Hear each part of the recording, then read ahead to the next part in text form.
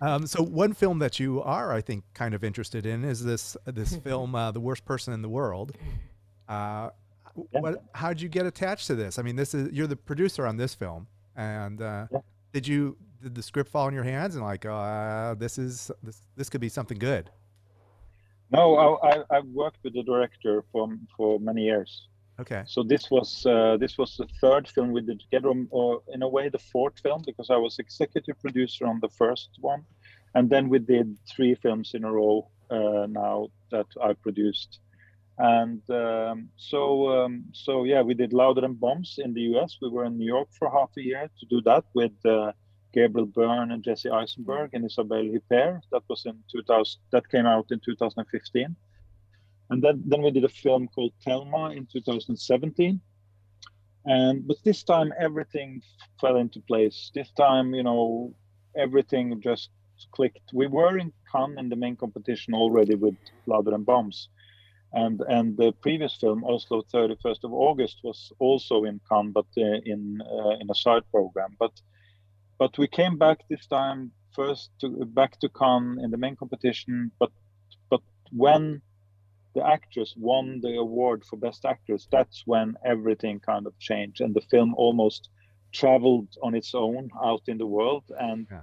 we have now more than 1 million admissions worldwide which is crazy for a film like this. It places it as one of the most seen norwegian films ever. And you know it's not a commercial film you know from the starting point. It was just another art house film a little more light than his previous films, but still a, an art house film. So it has just it's just an adventure. You know, I I was convinced that it would do better than his previous films. Uh, I mean, commercially, uh, but I didn't see it coming in this in this way. And, and who's the the actress who plays uh, Julie? What was? Uh, She's called Renate Reinsve, and she's this is her first uh, big role. She has done some television and some other films, but this is her first as the main actress. just a knockout. Amazing. That was. Yeah. wow, yeah. Quite quite a film. What? Uh, uh, so what? Now it's award season, and are you coming to LA? And are you doing this uh, the whole uh, Oscar Oscar Oscar party party party type thing? Uh, yeah, I'm coming on Tuesday, and we are also pitching some new projects uh, at something called Fiction Norway. And then there are different things happening, of course, uh, and yeah, meetings. And then I guess it's not going to be party every evening, uh, but we have we do have um, a party for the film at the the Norwegian Film Institute is uh, uh, uh, having a party for us, and then I guess you know the thing with being a producer is that everybody nobody needs needs a new producer in hollywood. But all other kind of talents are really interesting. So of course the actors and the director and um, and uh, in the screenwriter they get invited to all kinds of things. But uh, but uh, the producer you know they have enough producers and enough already on that level You get to okay. So let's say it wins the uh, be- best uh, international feature film. Do you get to? Are you going to be up on stage? Will you be in front of the mic? Have Have you guys even No. talked about that?